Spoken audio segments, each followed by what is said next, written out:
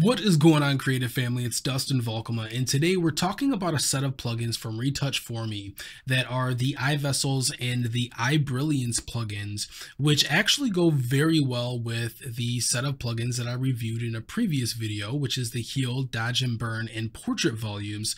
This is helping us finish the step of a fully automated portrait retouching pipeline. So let's go ahead and dive right into Photoshop and take a look.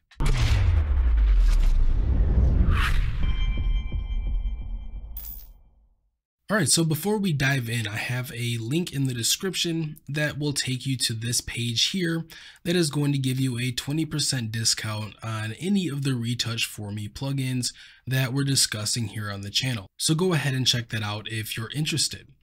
Now in Photoshop here, I've got two different images that we can start to use these plugins on.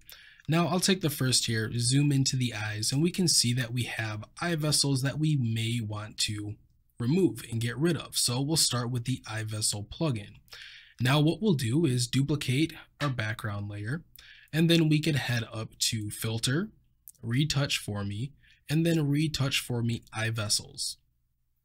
Give it a moment here for the interface to pop up. So we can zoom right in to the eyes with the middle mouse or the scroll wheel. And we can take a look at the interface here. So on the top left, we have the original. This is going to allow us to preview the before and after. We can also do that in the viewport here with the spacebar. Now we also have the brush tool, which is going to allow us to add to the mask that it's calculating, an eraser to remove from the mask that it's calculating, and a button to invert the mask. We also have the automatic human scale detection, we have the close up portrait, the half length portrait, and the full length portrait. So this is just going to adjust how the algorithm is reading your image and the amount of detail or scrutiny that it's putting into the effects that it's fixing. Now, at the very top, we have a blend slider, which is going to show us a heat map here as to where the artifacts are that it's replacing or fixing in the image. So in this case, it's showing up as that green or white color there in the eye vessels. On the right hand side at the top, we have the make mask, which is also the button that's going to make this a non-destructive part of the process and remove all of the identical pixels so that we're left with a nice, clean, non-destructive process. And at the bottom here, we have a button for feedback should we need that an apply button and a cancel button. So let's go ahead and apply the eye vessels effects. There we go. And we can immediately see the nice results here that it has on the eyes. So this is just one part. So this is just the eye vessels. I love how it has saved so much time from going in and maybe healing out. If you've ever healed eyes and gotten rid of eye vessels manually, it can be a bit of a tedious process depending on the amount of detail or texture that you can sample from there. Now, we will notice that since we didn't start with a selection or we're just doing the eyes as an entire process, the algorithm picked up this piece in the nose here. So if I turn that off and on, you can see some of the effects that it has there. So the way that I alleviate this when I'm doing my work is I'll just grab my lasso tool and create what I call a garbage mask around the eyes and then create a layer mask. So now the effect for the eyes is just on this layer. So let's go ahead and take a look at the Eye Brilliance plugin. With our layer selected here, for the eye vessels. We can maybe rename that. We'll just go IV and then we can create a stamp visible layer so that this is a non-destructive part of the process just moving up the chain here. Now with this one we can name this IB for eye brilliance and we can head up to filter down to retouch for me and then eye brilliance. And again, the interface here is going to look the same as the eye vessels. It's just going to be doing a bit more. So what I feel this is doing is a little bit more of a mix between the portrait volumes from the last video that's giving us a bit more of a pop.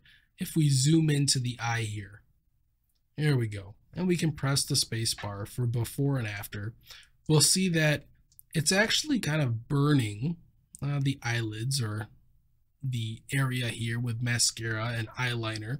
It's brightening up the catch lights in the eye as well as the iris and a little bit of the sclera or the white of the eye and helping this all stand out a bit more. So I like the effects. Now we'll go ahead and click apply here. There we go. And now we have nicely and quickly retouched eyes. So the thing about this is that there are times where I feel like the eye brilliance may just brighten everything up a little bit too far. As with any other non-destructive process, we can go ahead and add a layer mask. Now we can grab a black brush and I have my flow set somewhere around 11% and I can just paint on the sclera of the eyes to tone that down and just alleviate some of those hot spots from happening. There we go. Okay, I'm quite happy with that. So let's go ahead and take a look at our second image. With this one here, we're actually going to do the same thing in duplicating our background, but we'll use a slightly different process. And this is one that I may start off with at times, and it involves using the marquee selection and going ahead and just selecting the eye area here. Now we can duplicate this, which is going to place those eyes on their own layer. And so we can go ahead and say I, V, there we go, for the eye vessels. So we'll head up to filter with that selected, down to retouch for me, and then retouch for me eye vessels. And we'll make sure that we have the make mask selected and go ahead and click on apply we'll see that we have this little area down below that is somewhat glitched out. That's okay. What we'll do is go ahead and just create a layer mask, B for the brush tool, and we can go ahead and paint this away. My flow is quite low, which is why it's taking a little bit more than normal, but nonetheless, we can see that we now have nice, clean eyes. And this is what I love about this process is there are times where you may need to go in and do a little bit of work, but it's doing 90% of the work for you. It's retaining the shape of the eye and even some of the underlying color. So you could go ahead and whiten these if we wanted, but eye brilliance will also help take care of a lot of that. So let's go ahead and create a stamp visible layer here. And now we can head up to filter, retouch for me, and then eye brilliance.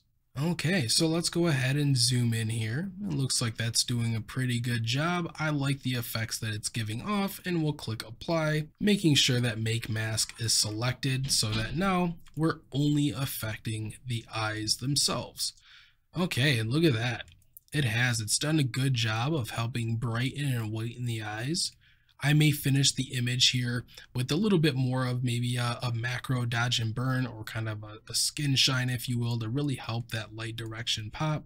But overall, this process is really added a lot of nice contrast to the eyes and really helping those stick out. So at the end of the day, Retouch for me does it again. I'm really happy that these plugins are now a part of my pipeline and that I can show you all exactly how I would use them on a day-to-day -day basis. Alright, so that is going to wrap up this review on the Retouch For Me plugins, Eye Vessels, and Eye Brilliance. I really like the way that Retouch For Me is starting to automate quite a bit of the technical side of my workflow. And this really just allows me to get back to the creative side and not focus so much on the muscle memory, everyday kind of tedious tasks that we take while we're retouching by getting a lot of that process done for us automatically. Now, again, I do have a video that goes a bit more in depth on how to create actions using these plugins. So go ahead and check that out. Link will be in the description as well. And until next time, create more, say less, and stay creative. I'll see you then.